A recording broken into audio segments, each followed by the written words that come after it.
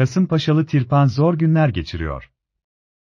Hollanda basınına röportaj veren Kasımpaşa'nın Belçikalı orta saha oyuncusu Mikkel Tirpan, MS hastası olan eşinin sağlık sorunları nedeniyle takımdan ayrılmak istediğini dile getirdi. Anlık gelişmeler için lütfen abone olun. Express Haber sundu.